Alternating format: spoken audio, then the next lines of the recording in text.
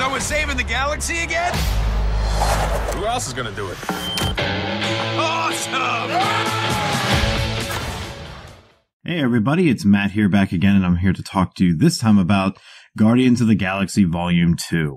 Um, my wife and I had gone to see this movie a couple days ago, and, you know, it's good. I don't know what else you, you know, it's like, it's hard, like, to review these Marvel movies because it almost in the sense that, like, you go in, you know, you're going to get a good movie most of the time, unless it's kind of like a, you know, an X Men Fox production. Most of those don't really end up too well, but this one was really good. Um, you know, uh, one of the questions that uh, I got asked a couple of times when I was uh, going out to see this, and some people, you know, uh, friends of mine were like, you know, do you think it's going to be as good as the first movie? And, you know, as much as I do like this movie, I don't personally think it's as good as the first movie. The first, and it, the first movie kind of goes along with um, what I would almost call the Avengers effect. Like, you got to see the characters come together from their own, you know, points from like, you know, Rocket and Groot, you got their story, then you found out what Peter was doing and a Gamora, and then all the other characters, like, they all had their same separate things, and then they finally came together to make the group, you know, and that's kind of like one of those things you're never going to get that kind of like feeling again from that, you know, because this one, you know, we just jumped right in.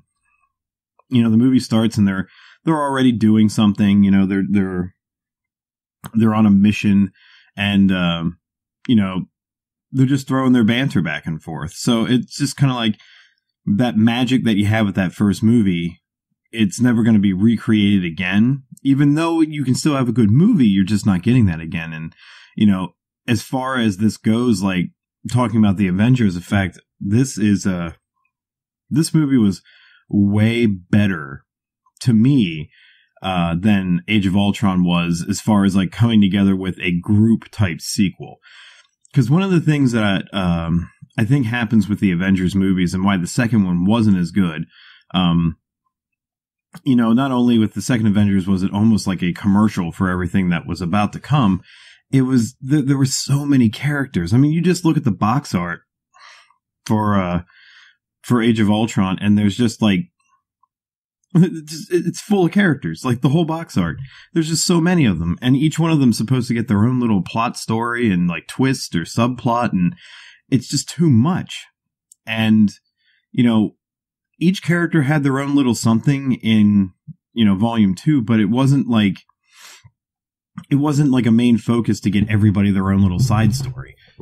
You know, you had a uh, you had Gamora and you had Nebula, like their whole thing going on, like you know, they're sisters and they hate each other, and you know, and you you got to find out a little bit more as to why you know Nebula hates Gamora so much, and then uh, you know you kind of got a little bit more of the subplot between Gamora and Star Lord. Like there's something there that's unspoken, and Gamora is a little bit softer in this one. She's not as like ruthless like she was in the first movie, and you know Drax. Um, you know the funny like in the first movie, to me Drax was like it wasn't. He really wasn't like a pulling in character.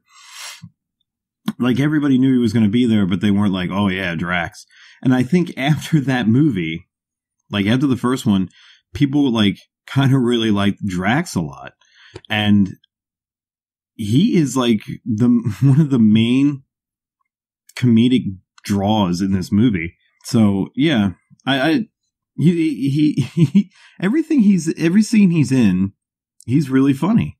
Like and you know sometimes they give him a little bit ridiculous stuff. There's there's jokes about his nipples a lot, and that's kind of weird, but I still, you know, it was still entertaining to laugh at. It was still funny enough. But uh there's actually like and I'm not, you know, this is going to be the non-spoiler section of it, but there's actually parts where you know, Dave Batista himself, he goes beyond his range actually.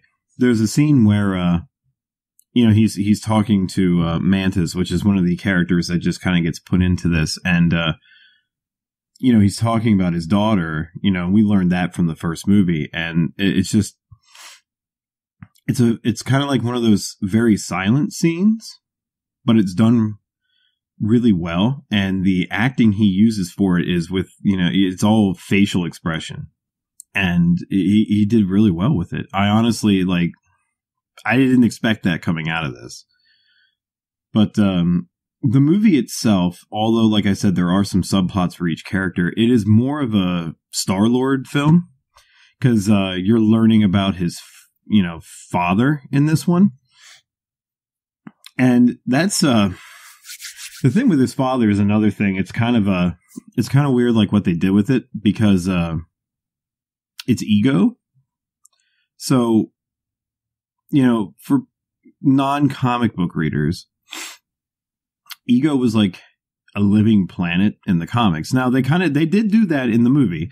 Like, you know, ego was a you know, it was a planet and everything but um, not Star Lord's father. At least in any iteration of what I remember, not Star Lord's father. Uh, Star Lord, uh, as as far as I can also remember, was never a um, son of a god, if you kind of would put it that way. But I don't. That's getting a little bit beyond, and I don't want to go spoilers. But even though they had, uh, they were throwing ego into this, um, it was acted very well. Like Kurt Russell it's Kurt Russell. You know, when he's on screen, you know you're you're pretty much getting something good. Even though Kurt Russell kind of just is Kurt Russell in anything he does, honestly. But he was very entertaining to have on screen, and uh, you know, I guess that's pretty much all I can really say about that. Like him and uh, Chris Pratt in the scenes they had, they worked well together. Uh, you would almost think they were actually father and son sometimes. Like it, it worked out pretty good. Um, you know, there, there's a lot of there's a lot of uh, revolutions in this. The close of some of the loose storylines from the first movie, and uh, I really kind of felt like this one had a lot of closure to it, even though you know they're going to come back with another one because obviously they have to. But this one had a lot of good closure, and I, I don't know, like it's one of those films that when it's over, and the ending is it's something. You you know you're you're gonna you're gonna be really happy also, and there there's a lot of surprises. In the end, they kind of tease some things that honestly I didn't really ever think they were gonna go to. So it's you know it's definitely worth every penny of ticket admission. You really should go see it. I'm sure most of anybody that listens to this podcast probably has already seen it, but uh, you know, to cut it here, if I'm going to give a review on this, I'd probably give it a nine out of ten. Definitely go see it. It's uh, it's fantastic. It's great Marvel fun fair, and you know you'll leave feeling like you didn't waste any money, and you'll be very happy. So yeah, take uh, take the kids, take everybody out there. It's a fairly safe movie. There is some mature content to it. There, you know, of course, there's violence and everything, but you know, I wouldn't take a young, young child to it, but you know, your teenage son or daughter or whatever, go ahead, take them out to the movie. It's, it'll be a great time. So that's where this is going to end. And then I'm going to get into spoilers right now. So as I was talking earlier, Ego in the comics was a living planet, uh, created by Stan Lee, if I remember correctly. And, uh, at, at not one point did he, uh, you know, go around the galaxy banging broads. like, and it's, it's really funny because in the movie, that's basically, he's like, I went around all over the place. I, I took the form of what I thought a human would look like and I planted my seed. Like, and it, it's funny because it's Kurt like it's it's almost one of those things like if Kurt Russell's gonna be in our movie, what should we have him do? Well, he's probably gonna be a, like a womanizer, right? And like, sure, whatever.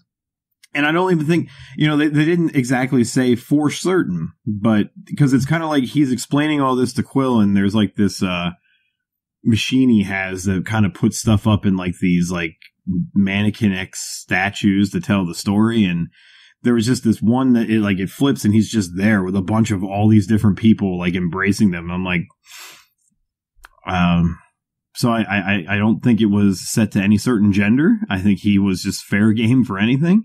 But he was a celestial, so that wouldn't have mattered. But, you know, you find out through that that um, Star Lord's mother uh, was the only one that was able to somehow take you know, and take seed and produce with it what was needed to create a half human, half celestial, like perfect com- combination. And, you know, that's Ego's looking for Star Lord because he needs another celestial to follow out this plan of him basically spreading himself out across the galaxy because in each planet that he also visited that he went and had uh, relations with people, he planted this. Um, and almost kind of it was like a flower thing that was blue that was kind of shaped like an egg that he put onto the put onto the ground and it you know put its put its roots in and uh you know it would grow from there. So he needed star lord's energy from being another celestial to power his brain that lives within his human his humanoid planet thing to spread it out across the cosmos and basically make more of him. That was his goal because he figured nothing else was, you know, it was just he was him. He he was the best there could be, and there was nothing else that could be better than that. So he had to replicate himself as much as possible, which it's kind of cookie cutter. I know it. You know, whatever what other movie have you seen where there wasn't a superior being that the only thing he thought would fix everything is it was just more of him or he was the only thing left so he had to destroy everything else. And it like it that's the bad guy. Which I thought was really weird because it played up the movie differently because it, it starts you know they're doing a job for uh, oh forgive me I cannot remember the name the race the name of the race that they're doing the job for. It was basically like they're the perfect humans. They're all gold, you know, and uh, they they were doing a job for them to protect these battery cell tower things from like. Uh, and I, I can't remember the name of the creature, but it almost looked like a Shoggoth or whatever came down from the sky, and they were trying to steal the batteries or like break, destroy the towers, and they were protecting them. Well, here I thought they were going to be the bad guys because they didn't really, you know, they hid the fact that uh, Ego was going to be the villain. So I thought these guys were going to be the bad guys, and like you know they kind of were because Rocket, of course, being himself, stole these uh, batteries anyway after they did the job because he's like, well, they'll fetch a pretty penny. So they're also like that that race is after the Guardians. And you know through a chase in the beginning you see uh, Ego on like his ship that's kind of shaped like a white watermelon that he's just kind of riding awkwardly through space.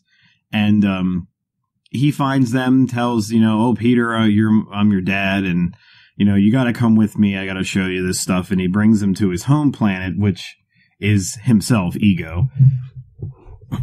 So as they're there, we meet uh we meet a couple different characters. We meet Mantis and uh well no, we just meet her honestly. And uh you know, Nebula's along for the ride because that was the prize that the Guardians was getting from doing the job in the beginning because uh Gamora was going to take her somewhere and you know basically I hmm. guess was, she was either going to die or go into prison for the rest of her life or whatever. But so there's that. So they're on Ego Planet. You meet Mantis. She's a being that is able to control the thoughts and emotions of others just by touching them. She can also see their thoughts by touching them. It was, she was kind of a cool character. She was not really utilized as much as I kind of thought she would have been, but it was a pretty it was a pretty cool character. You know, I hope they bring her around again in the next movie. But uh, the thing that I alluded to earlier in the thing, there there's a scene where they're out like her and Drax, which they kind of get close, but they don't really it's not really in your face that like they might be an item, but they do get kind of close a couple of times in the film, and they're like sitting looking at these little ponds that have like uh, lotus flowers and stuff floating in them, and Drax is like you know, this these ponds remind me of uh, like the incident with my daughter, and you know, it reminds me of times with her, and that's when it kind of it goes like silent, and the camera just kind of like pans over to like Drax's face, and you know, it. I'm a sucker for when an actor can portray an emotion to me without speaking a single word and just by using complete facial expressions. And they did that with this. And for a guy who in the first movie, they only gave him a, a few couple lines because they're like, you're a professional wrestler. You're not really meant to be an actor. And, you know, other movies that I saw him in, they also did the same thing. They didn't really give him any lines, but he pulled that off really well. Like it was a moment that was so well done with you know the the cinematography and just the way that they portrayed like the whole scene and looking you know shooting him the way that they did and the way that he's just kind of staring off and you can really see that he's thinking about this thing. And then they topped it off by having like mantis touches him and then she just starts uncontrollably sobbing. And you just had the whole thing going together with the music in the background and it was just it was a really like sad but well done scene. Like very well done. So then we move on to you know we have our big we have a big battle because we all find you know we find out that you know ego's bad we all find out you know his whole strategy for what he's doing which i already spoke about earlier and uh, the thing that throws Peter over the edge, because he was almost being brainwashed by his father to do this whole thing. And it throws him over the edge because he is getting in an argument with uh, Ego.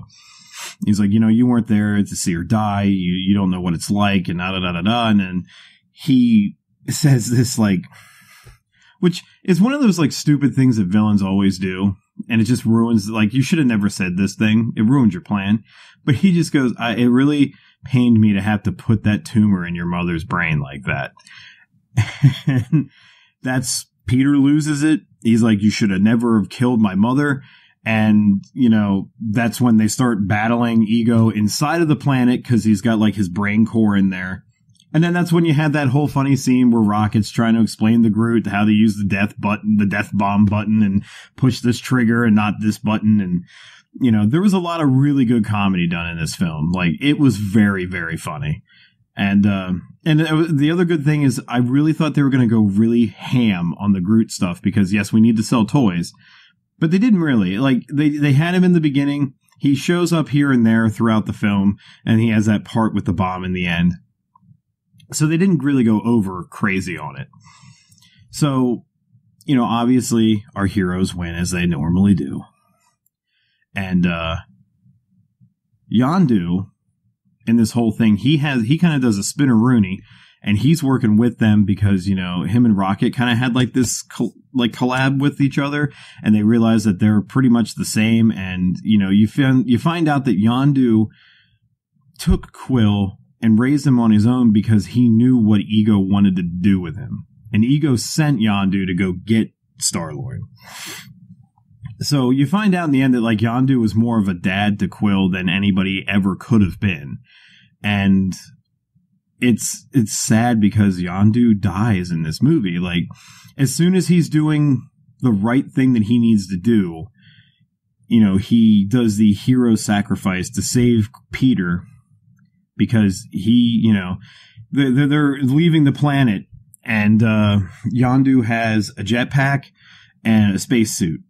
It's like these little uh, amulet things you can just like kind of slap them on yourself and it gives you like a spacesuit and a jetpack. Well, he uses the jetpack to get off of the planet, but then he gives uh, Star Lord the the uh, spacesuit so he doesn't die in space.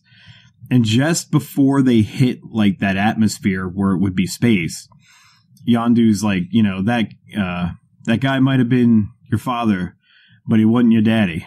And that's when you're like, oh my god, he did everything he did because he wanted, you know, he raised you to be a fighter to survive, and he was your he was like your real dad.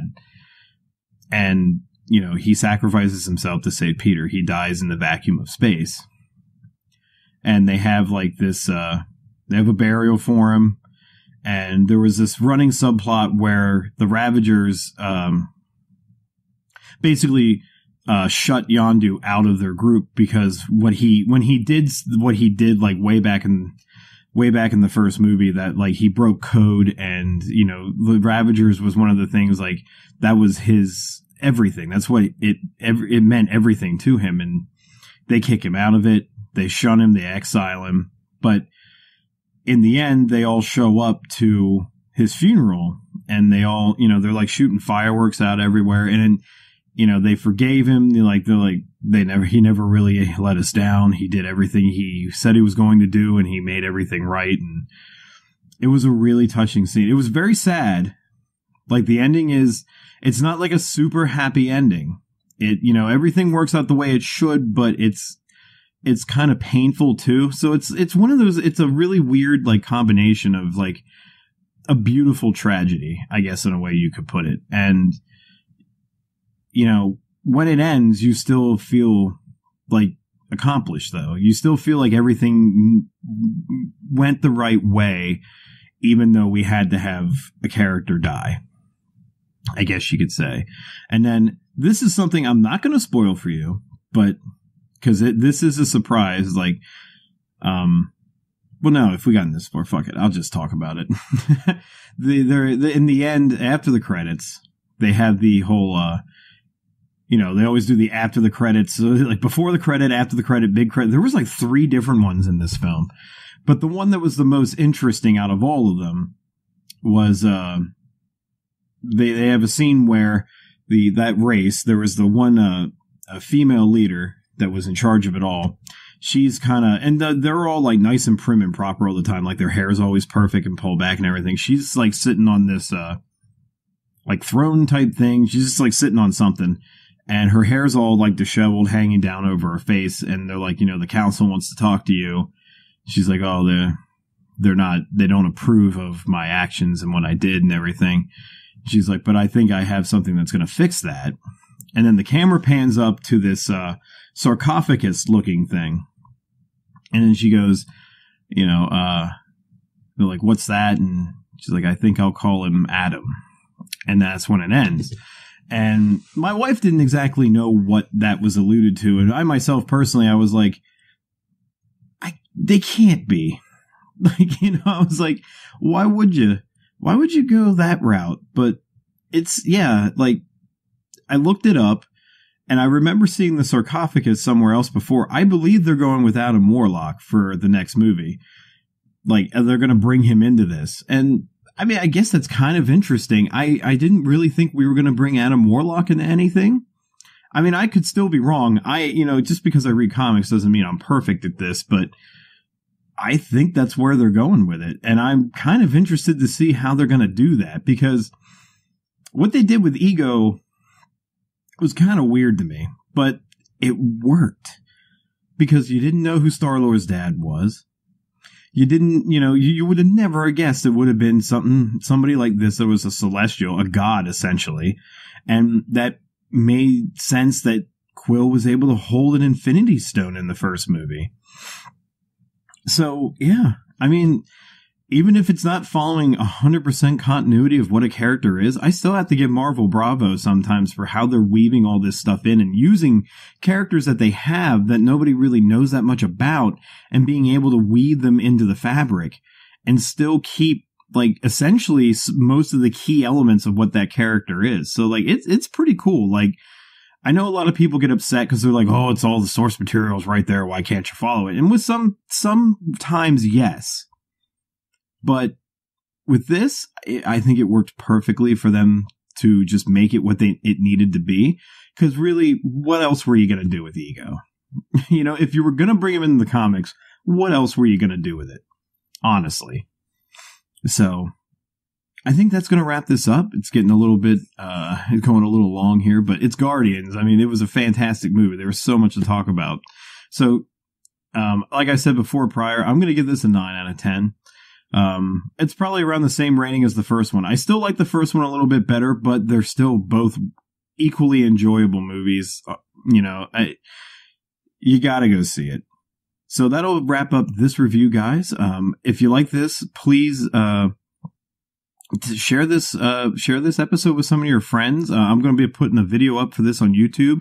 Go there, uh, give it a like and everything. Please, you know, tell me how I'm doing in the comments below. So thank you so much for listening, guys, and I will catch you in the next movie review. See ya.